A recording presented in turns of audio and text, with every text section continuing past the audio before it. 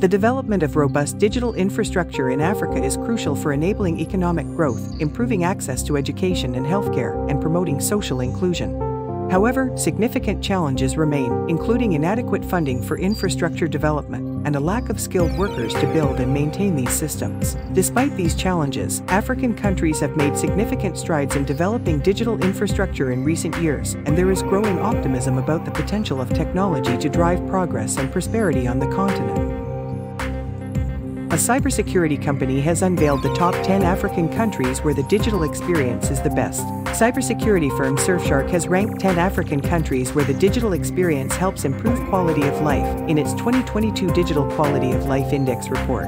Among these countries are South Africa, Algeria, Egypt, Ghana, Mauritius, Kenya, Morocco, Nigeria, Senegal, and Tunisia. The company took into account five criteria that have repercussions on public and private services, the business climate, the startup industry, the attraction of investors, as well as the participation of populations in the digital economy, and the human development. These criteria are accessibility and quality of the internet, digital infrastructure, electronic security, and e-government.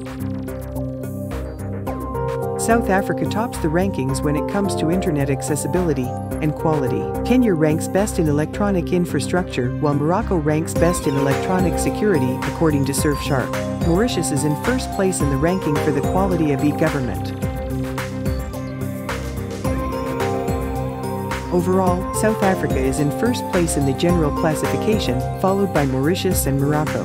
Then, from 4th place to 10th, respectively follow Tunisia, Kenya, Egypt, Nigeria, Ghana, Algeria and Senegal.